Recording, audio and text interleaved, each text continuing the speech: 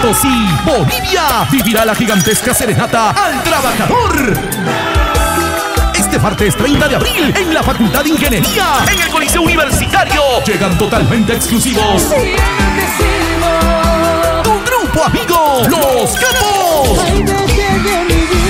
Sí, Los Capos, en único concierto. Con ellos, el romanticismo llega con Sí, Gastón Sosa. Cuarta clave. Inambi Bolivia será desde las 20 horas.